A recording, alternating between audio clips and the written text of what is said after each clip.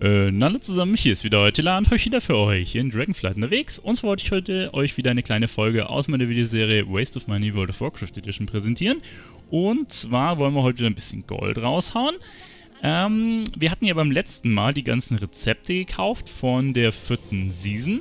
Und diesmal will ich diese First Crafts quasi einmal durchballern, beziehungsweise bei einigen Berufen gibt es ja dann tatsächlich auch noch T-Mog von. Ähm, ja, auf dem Shami, der jetzt hier Juve hat, gibt es das jetzt eher nicht, aber die First Crafts will ich natürlich für All of Things auch einmal mitnehmen. Und ich würde sagen, das machen wir jetzt mal.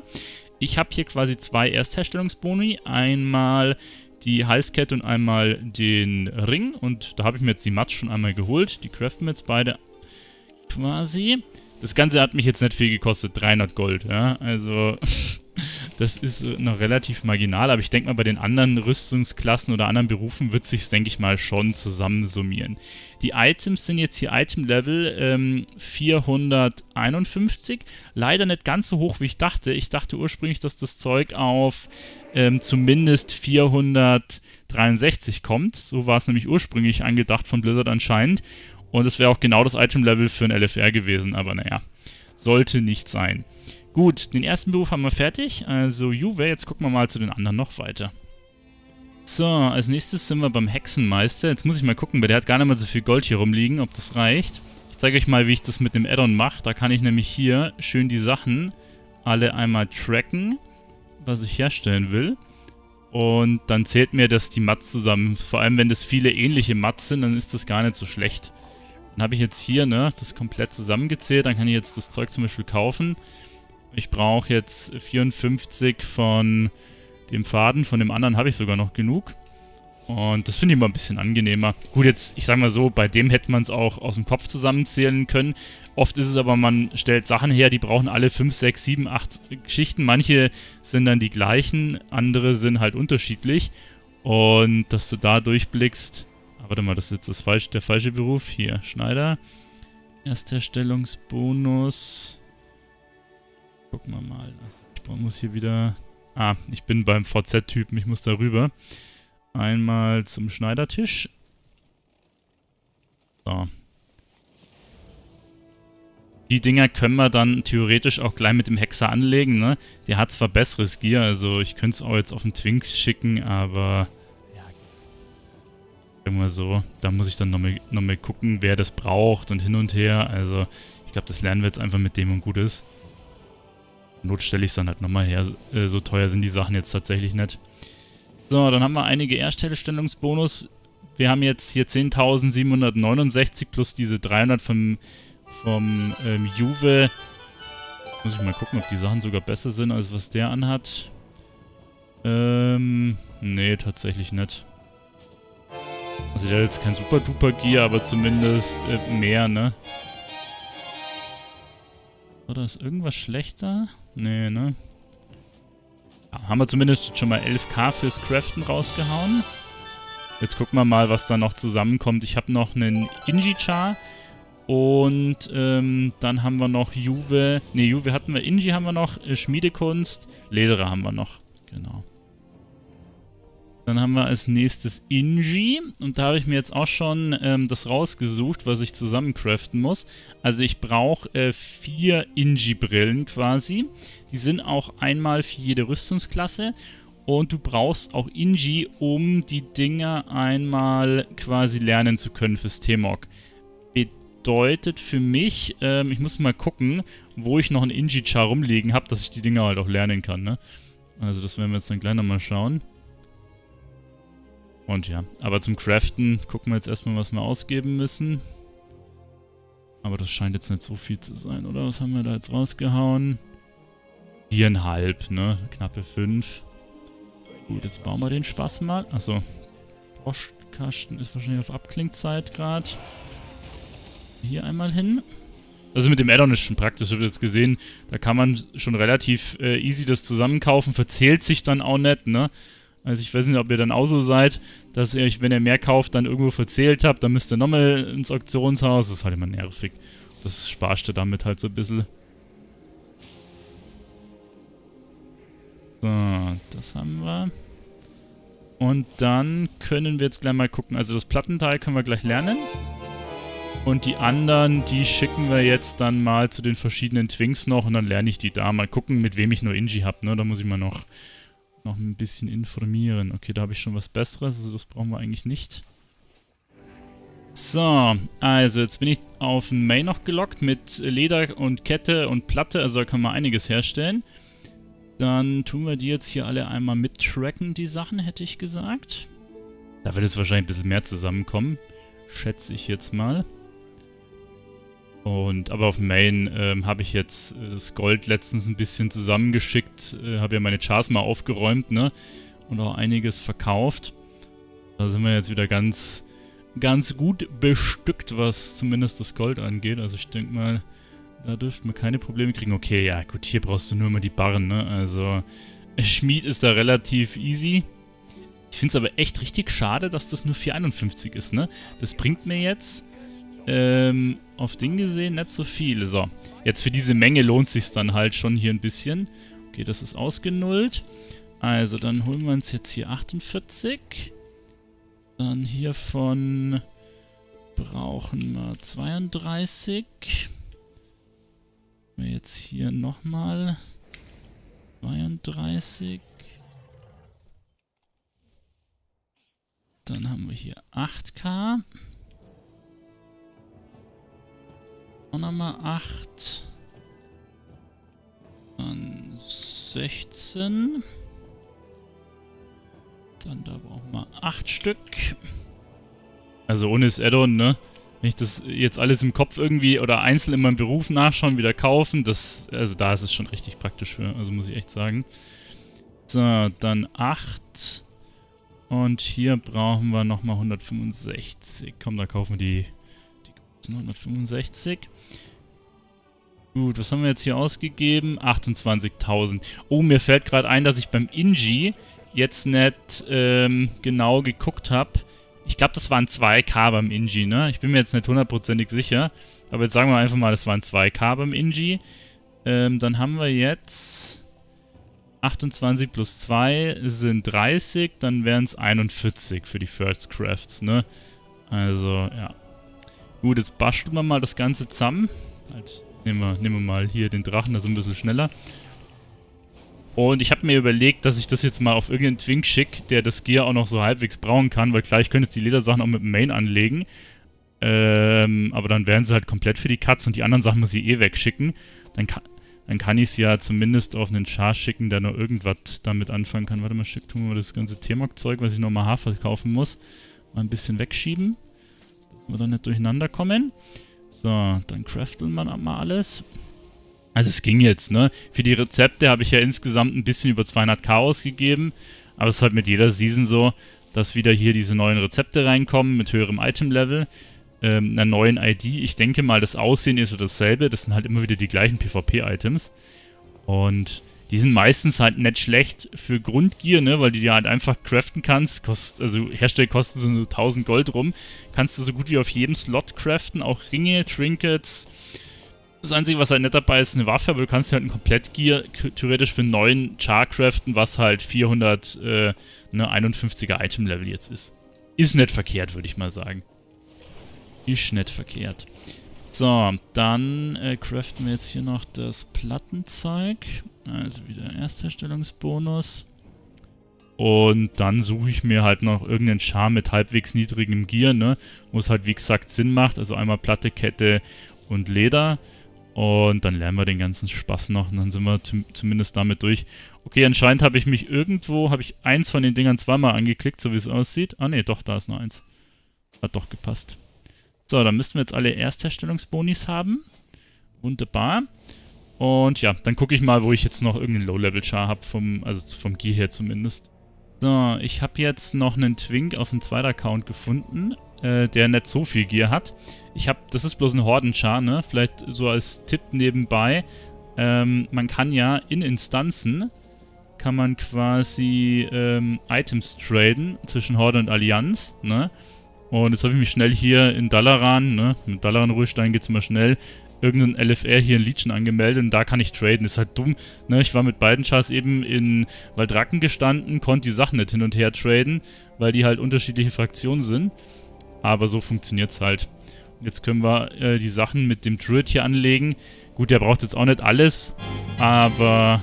Wobei es ist ein Item-Level höher, ne? Aber der hat halt jetzt von den Chars äh, im, im, Schnitt noch so das niedrigste Grund-Item-Level, ne? Die anderen äh, waren alle schon höher. Er kann vielleicht zumindest nur ein paar, ein paar Sachen brauchen. Zum Beispiel die Schuhe waren relativ niedrig. Da zumindest noch ein bisschen was von. Gut. Ja, mal gucken, war irgendwas noch höher ist das? Ja gut, die Schultern sind 500er Item-Level. Kopf, ah gut, zumindest ein bisschen was hat er plus gemacht, ne? Also haben wir jetzt schon mal die Kettensachen mit weg. Und dann müssen wir jetzt noch einen Platten und einen Ketten, äh, ein Leder haben wir jetzt weg, Ketten und Plattenschar muss ich noch finden. Übrigens, das Add-on, was ich da habe, das wurde im Stream jetzt auch gerade gefragt, das heißt Profession Shopping List. Und anscheinend kann man das sogar auch ins Auktionier mit übernehmen. Da muss man nicht mal mehr die Sachen eintragen. Ne? Dann soll es noch ein bisschen einfacher sein. Da muss ich aber sagen, crafte ich zu selten was. Das habe ich gar nicht so wirklich auf dem Schirm. Da muss ich selber mal gucken, wie das funktioniert. So, da. Jetzt haben wir den nächsten. Hier habe ich noch einen Shami gefunden. Das ist aber auch wieder ein Hordenchar. Oh, halt, nicht das Plattenzeug. Wir wollen das Kettengedönse rüber traden. Zeug. Ich habe da so ein bisschen gemerkt, mittlerweile die Chars haben alle eigentlich schon ein gewisses Grunditem-Level, ne? Weil ich mit denen ja LFR und Konsorten laufe. Und seht ihr, also das wird jetzt auch nicht viel, viel bringen tatsächlich. Aber ja, bevor ich jetzt da irgendwie bei jedem Char guck, können wir da gucken. Ah, Schoko, vielen Dank für die Bits. So, das legen wir jetzt mal alles an. Und dann schauen wir mal die meisten Sachen. Gut, die sind alle äh, Item-Level. Ja, das war zumindest ein bisschen höher. Ja, wobei die Hände, nee, die können wir nicht, ne? Okay. Gut, dann hätten wir jetzt den Kettenchar auch. Dann brauchen wir jetzt nur noch Platte und dann haben wir es eigentlich. Gut, dann habe ich jetzt noch einen Plattenchar gefunden. Dem geben wir jetzt das ganze Plattengedönse noch. So, okay. Müssten wir eigentlich alles durchhaben. Schauen wir mal, was hat der für ein Item-Level für 39. Naja, ein bisschen was macht er damit, denke ich mal, plus, ne? Ein paar Items. Aber das war jetzt der lauste, den ich noch auf dem zweiten Account hatte. Mittlerweile mit diesem ganzen Timewalker-Gedönse kriegst du natürlich schon ein bisschen Grundgier. Hä? Warum hat's das jetzt... Ach, verdammte Schitte. Ich habe ein Kettenteil jetzt äh, eingelegt. Ach, kacke. Jetzt muss ich das nochmal craften.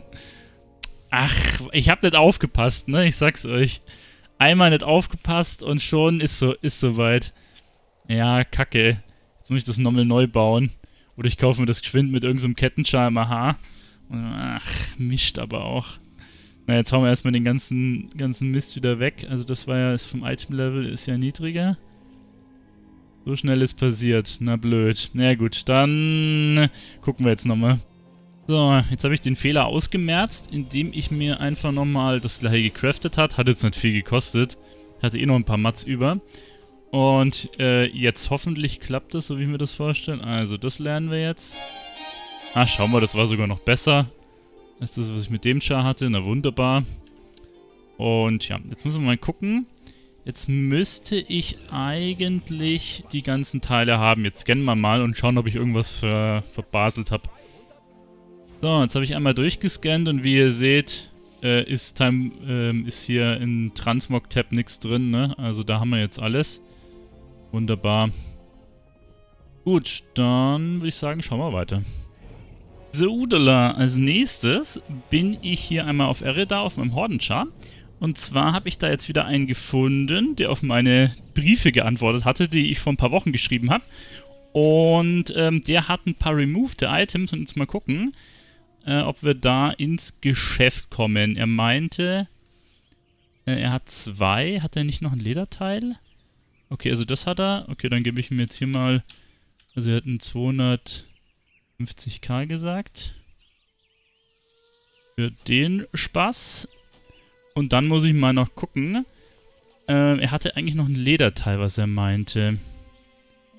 Oder das war jetzt, ähm... die Silk. Okay, also das können wir jetzt dann gleich nochmal eintragen. Jetzt müssen wir mal gucken, ob er noch eins hat auf dem anderen Char.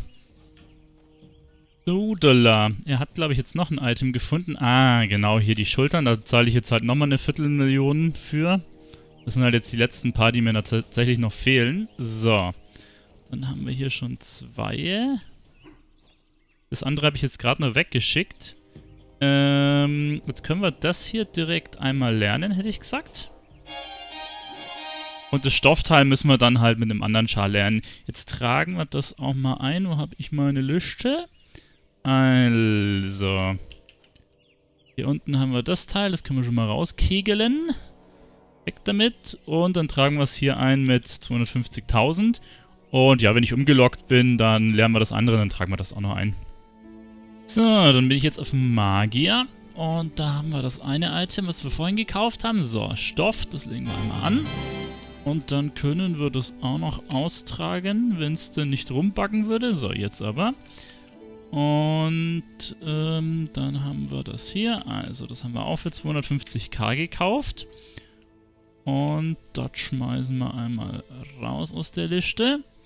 Und dann wird die wieder ein bisschen kürzer. Jetzt sind es nur insgesamt äh, 68 Items, die ich auf der Liste habe. Natürlich kann es ne, sein, dass es noch vielleicht das ein oder andere Removed gibt, das ich jetzt hier nicht auf dem Schirm habe. Wobei, ähm, dann ist es sowieso nicht im Auktionshaus, weil, äh, ne, ich habe ja hier das mit den Items abgeglichen, die aktuell noch im Auktionshaus sind. Und ähm, davon sind eh nur 24 drin. Ne? Teilweise sind sogar noch weniger drin. Also manche von den Items sind dann ein paar Wochen lang wieder nicht drin. Dann stellt anscheinend die Person, die sie hat, äh, wieder ein. Also das ist dann immer so nur temporär drin, der, der Stuff. Gut, dann würde ich sagen, guck mal weiter. Als nächstes bin ich auf Schwall unterwegs und da habe ich mir einmal ein T3-Teil gekauft und zwar die Schulterpolster des verseuchten Herzens und ja, das sind einmal die T3-Schultern vom Hexenmeister. Ähm, ich habe das dem Priester gekauft, aber es ist relativ egal. Ne? Die, es zählt quasi nur die Rüstungsklasse in dem Fall. Und das hat mich gekostet 367.000. Das ist jetzt mein vorletztes T3-Teil. Und jetzt brauche ich quasi nur noch ein einziges. Das ist, glaube ich, auch ein Hexerteil. Und dann habe ich alle T3-Sachen fertig. Ne? Dann fehlen noch ein paar Wappenröcke aus dem Black Market. Aber Aktuell ist es tatsächlich nicht mehr sonderlich viel. Dann können wir das Ding gleich nochmal eintragen. Also was haben wir gesagt? 367. Hier. 367. Jetzt haben wir schon wieder 900k rausgehauen, ne? Geht schneller, als man schauen kann. Naja gut, aber das war jetzt wichtig, das Teil. Und mal gucken, wie lange es dauert, bis dann dementsprechend ähm, das nächste im Start ist, ne? Also, das wird dann, ja, ich glaube, Brust ist es noch, was ich brauche beim äh, Hexenmeister. Vielleicht kriege ich auch vorher einen Wappenrock. Mal gucken. Als nächstes sind wir dann auf Chogal unterwegs. Das ist ein französischer Server. Und hier habe ich äh, das letzte Raid-Item, was mir noch fehlt, gefunden. Und zwar einmal Mantel der gefrorenen Klaue. Das ist einmal hier für 300.000 drin. Eigentlich wollte ich nicht so viel ausgeben, aber ich habe jetzt seit ein paar Wochen geguckt. Und naja, das ist das letzte Teil. Hauen wir mal hier 300k rein. Und ja, das muss ich dann noch auf einen Kettenchar am besten rüber traden. Muss ich mal schauen, jetzt äh, handeln wir es erstmal Main. Und äh, dann gucke ich mal, zu welchem ich das rüber schicke. Dann kann ich es nämlich eventuell noch ähm, in den Katalysator packen und ein weiteres Thema zu, zu bekommen. So, also ich würde sagen... Das schicken wir zum Shami, oder? Mit dem müssten wir das auf jeden Fall lernen können. Warte mal, vorher tue ich es vielleicht noch ähm, einmal hier in die Liste eintragen. Und dann schicken wir das Ganze rüber. So. So, Dollar. Also, halt, stopp. Wir müssen es jetzt erstmal lernen. Also, das Ding legen wir einmal an. Dann ähm, tragen wir das jetzt mal kurz in die Liste ein. Was? Beziehungsweise aus der Liste aus. Also, hier seht ihr, gut, das hätten wir zu suchen brauchen. Das ist jetzt quasi das letzte Item, was mir noch fehlt aus dem Vault, beziehungsweise allgemein aus äh, Raids. Jetzt fehlt mir, was äh, in-game noch verfügbar ist, nur noch ein Teil, und zwar Gefechtskeule. Die ist aber aktuell nur für über eine Million drin. Also da müssen wir uns wohl noch ein wenig gedulden. Und ja, jetzt sind es noch 67 Items. Also 66 removed und 1 in-game. So, dann tragen wir das jetzt hier ein. Also 300k waren das. Dann sind wir jetzt ein bisschen über die Millionen rübergeschossen. Sind wir bei 1.208.000. Okay, so viel dazu. Dann packen wir das jetzt auch noch in den Katalysator. Und kriegen hier ein Teil vom Shami-Set. Und zwar die Schultern. Na gut, klar, wenn wir Schulter reinpacken, kriegen wir Schultern. So, aber das kann ich dann wieder weghauen, weil mittlerweile haben wir ja schon wesentlich höheres Item-Level. Ups, das war das Falsche. Ah, Moment. Hä, warum habe ich denn da so ein lowes Teil an? Das ist sogar, das ist tatsächlich sogar besser. ist das weird. Okay, man könnte sich auch das aktuellen PvP-Dir kaufen, das, weiß ich nicht, was hat das für ein Item-Level? Ich glaube 451 oder 54. Aber okay. Äh, das können wir jetzt tatsächlich sogar anlassen. Interesting. Juti, damit sind wir aber tatsächlich durch mit dem kleinen äh, Waste-Video. Hat mich gefallen, dass ihr dabei wart. Wenn ihr wollt, schaut gerne beim nächsten Mal wieder rein. Euch bis dahin. Ciao.